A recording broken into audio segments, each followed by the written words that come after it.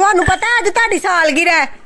ਆਹ ਪਤਾ ਹੈ ਮੈਨੂੰ। ਅੱਛਾ ਮੈਂ ਬਾਜ਼ਾਰ ਚੱਲੀ ਆ ਦੱਸੋ ਤੁਹਾਡੇ ਲਈ ਕੀ ਗਿਫਟ ਲੈ ਕੇ ਆਵਾਂ? ਸਿਰਫ ਨਾ ਮੈਨੂੰ ਮੁਹੱਬਤ ਨਾਲ ਬੁਲਾ ਲਿਆ ਕਰ ਮੇਰੇ ਲਈ ਇਹ ਗਿਫਟ ਹੈ। ਨਹੀਂ ਗਿਫਟ ਦੱਸੋ ਕੀ ਲਿਆਵਾਂ? ਆਖਿਆ ਨਾ ਸਿਰਫ ਮੈਨੂੰ ਮੁਹੱਬਤ ਨਾਲ ਬੁਲਾ ਲਿਆ ਕਰ। ਫਿਰ ਉਹੀ ਬਕਵਾਸ। ਗਿਫਟ ਲੈ ਆਈ ਗਿਫਟ